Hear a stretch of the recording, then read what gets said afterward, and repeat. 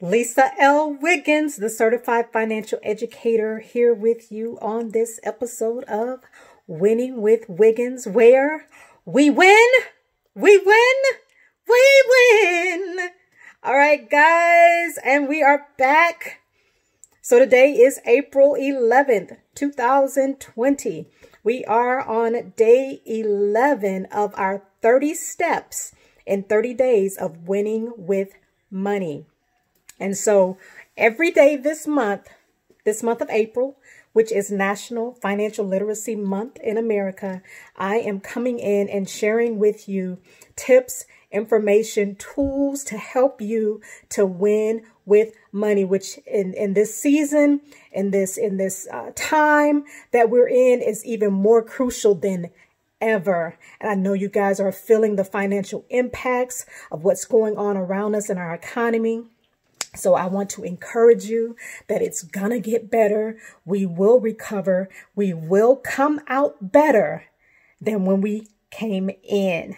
I hope you believe that today. And there's some things that we can do while we're in our incubation period, while we're being quarantined and doing the social distancing. There are some things that you can do um, to ensure and to help ensure that you are still building wealth, that you're still maintaining those, those uh, good, uh, safe financial money behaviors, right? And so on today, today is, uh, again, the 11th. So today is our step 11. Now, on the last couple of days, I shared with you um, the benefits of the first, I think it was on uh, day nine. I told you that you've got to start spending less than your net check, right? You've got to start spending less than what we bring in. There's so many millions of, of Americans who are living paycheck to paycheck, and that's not God's design for your life, I'm telling you. Um, and so we've got to learn to start spending less than we bring home so that we can save, so that we can invest, so that we can enjoy life a little bit better than what we've been struggling and get just getting by. Do you receive that? Are you tired of just getting by? Right? And so on day, again, day nine, I started talking about spending less than your check. And then yesterday on day 10, um, April 10th, I began to share the benefits, some of the benefits that you can um, realize when you start to spend less than you bring home. And so I'm going to recap some of those benefits for you now. Um, from yesterday, the first six benefits that I shared with you yesterday on Facebook and um, on Instagram and Twitter were six benefits to spending less than your check. You begin to save. That's number one. You begin to be able to save when you spending less, when you're spending less than you bring home, you actually put yourself in a position to be able to build up that emergency fund. Um, number two, you will be able to explore possibilities that were not open to you previously. So when we spend everything that we bring home, we limit the possibilities of what we can do. So when you begin to uh, train yourself to spend less than you actually bring home, less than that check, then you um you you open up those possibilities. You begin to be able to explore other options, things you can do. Number three, you can eliminate debt. How many of us want to eliminate debt, get that debt gone, debt free? Hallelujah. So you get to eliminate debt because you can spend more of that money on paying down debt. Let's see, um, week number four, you can retire in style and live the good life. Who wants to retire in style and live the good life when you're retired? And, and my personal my personal goal is to retire early. I'm re retired in my 50s. I'm I'm I'm claiming that, and I'm working hard toward that goal. Um, number six benefit from yesterday that I shared with you was um, you get to um, I'm sorry. Number five. Number five was you can build wealth. And that's so key because this this principle is uh, spending less than your check it really is the, the number one principle that will allow you to build wealth. There's no way that if you're spending everything that you bring in, that you will ever be, ever be able to build wealth. And so that's number five. You can begin to build wealth if you spend less than your check. And then number six from yesterday was eliminate financial emergencies. So those things that normally would feel like and look like and be a financial emergency, they're no longer giving, giving, don't have that same weight to it because now you've built up funds and you have that stash that you can go to to cover those type things that come up unexpectedly. So that was number six from yesterday. So today on day 11, I am going to continue with these benefits. I have six more, six more benefits for you to share with you today of, of, of spending, how spending less than your check can help you. So number seven for today on day 11 is you won't worry over work as much. Have you ever been in a position at a job where you, um, you you knew it was just time for you to go. Your season was up. For whatever reason, it was just, you know, not working out. You, you just didn't feel good about going to this job every day anymore. Um, but you were so financially strapped that you had to stay. You felt stuck. Well, when you begin to spend less than your check and you begin to, to build up those savings and that cash and, and begin to be able to invest in earning a return on your, on your money, and you put yourself in the position to do those things, then you don't have to worry about work as much because now you got options. Remember, we talked about, I think it was in, in step number, not step, but benefit number two, you, you can begin to explore possibilities where they weren't, there weren't any there before. So that was number seven for today, um, or number one for today of the six steps for or benefits for today of spending less than your check. Number uh, two for today is uh, you won't worry um, about um, you won't have financial stress. So you'll have less financial stress and just less stress overall. Less stress overall.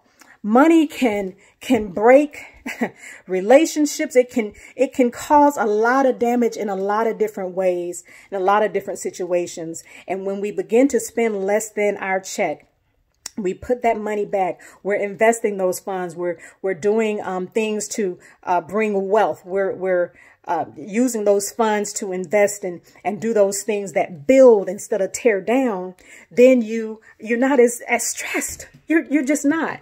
Um, again, like I talked about with the, um, when the emergencies come up, they're just not, you know, as, as big a deal as they were when the financial emergencies come up. So that was number, uh, two. Number, uh, no, that, that was number two. Yeah, that was number two for today. I'm sorry. I'm looking at a sheet of 12 because I had six for yesterday and six for today. So I'm trying to follow um, the six for today. Number three for today, it's satisfying to achieve. Um, can you imagine how you would feel if you were able to get to the point where your paycheck isn't just being depleted before your next paycheck? Can you imagine how, how that would feel if you get to half, halfway, you know, toward the end of the month and you still have hundreds of dollars or thousands of dollars still in your bank account because you've chosen and you've opted to do the things that you need to do to ensure that you are not spending that entire check. So you get to have that satisfaction of achievement. That was number three. Number four for today is it opens up more options. And, and I talked about that a little bit with the other, um, the other benefit from yesterday about how you get to explore uh, possibilities that weren't there, but it does, it opens up more options. What are, what are some options? What are some things that you didn't have the option to do um, before? Because you were financially uh, tied up because you were living paycheck to paycheck and and and choosing um, those money habits and those money behaviors that kept you in a place where you could not do anything more than what you were doing because there were no funds left. All the money was gone. It was being spent on this and spent on that, on unnecessary things. So that's number uh, four for today. And number five for today is you can seriously plan for your future. Oh my gosh. I'm so excited about being able to plan for my future and, and, and, and just really, I mean, and I understand that many are the plans of, of a, of a man and what we have in our heart to do. But God, of course, he orders our steps and it's his uh, will that will prevail. But as we're planning, we can dream and we can we can share with God what our desires are like like the word in Psalm says we can share with him the desires of our heart we can tell him Lord this is what I, I, I desire and and if you delight yourself in him and continue to live and delight yourself in him, he will give you those desires. So let's start spending less than our check so that we can dream and we can see those dreams come to fruition. And so we get to plan, seriously plan for our future when we spend less than our check. And then the last one for today, the last, the sixth step for today of the benefits of spending less than your check. So we had the six yesterday and now this is the sixth one for today is guilt-free fun money. I'm talking about vacations. I'm talking about cruises. I'm talking about going to Dubai. I'm talking about doing things that interest you that benefit you and, and help you to have an even more quality of life. And you don't feel guilty about it because you didn't run up a credit card. You didn't put it on, on, on, you didn't go get a loan to do it. Um, and you're able to enjoy life even more and have that guilt-free money because you've determined that I am going to live a prosperous life and I'm going to be a good steward over what the Lord has blessed me with, with this income. And we're going to do it right. We're going to do it right. And so I encourage you today. Um, again, these are the 30 steps in 30 days of winning with money. And I hope that you will continue to tune in to um, this broadcast, to my videos, to my audios.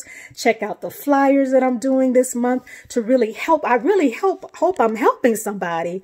Uh, I really do. Um, we got to change our mindset and our behaviors. And I'll continue throughout the month of April, I will begin to uh, give a little bit more detail on uh, budget and, and different things that we can do. And, and I, I probably, I think tomorrow we're going to get into um, how the how. So we talked about the fact that spending less than your check is um, is beneficial to you and it can impact your life financially. We talked about that. We talked about six benefits on yesterday of spending less than your check. We talked about the six benefits today of spending less than your check. So tomorrow, I think we need to go into the how. What do I need to do? How do I begin to get to the place where I can spend less than my check? And we'll continue on throughout this month of April um, as we honor uh, National Financial Literacy Month and hope to encourage you, hope to help change some minds about money and have you soaring and winning with your money. So again, I am Lisa L. Wiggins, the certified financial educator. I'm so excited for you and this journey that you're on. I know that it's going to be fruitful if you put in the work it's going to be fruitful. You will see a harvest. Go ahead and sow. I'm telling you, go ahead and sow, learn, pick up these tips and tools, um, begin to, to, to meditate and just change your mind about how you look at money and how you deal with money. Um, this tool that we have um, at our uh, at our disposal of money, and you will see some things change and shift in your life. So again, here on Winning with Wiggins, I'm so excited so excited that you joined me here. I hope you will join me again. Um, for the rest of this month, check out my flyers, check out the uh, videos, check out the audios, and um, I will see you here tomorrow on Winning with Wiggins, where we win, we win, we win. All right, guys, I'll see you tomorrow on day 12. Enjoy the rest of your Saturday.